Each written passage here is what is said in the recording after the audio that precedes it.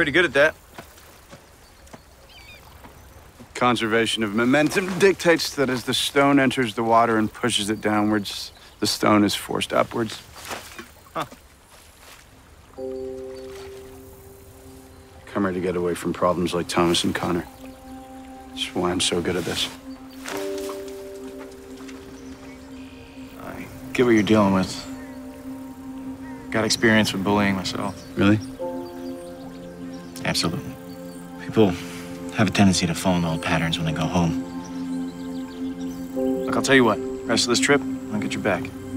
Might force uh, Thomas and Connor to give you a little bit of space.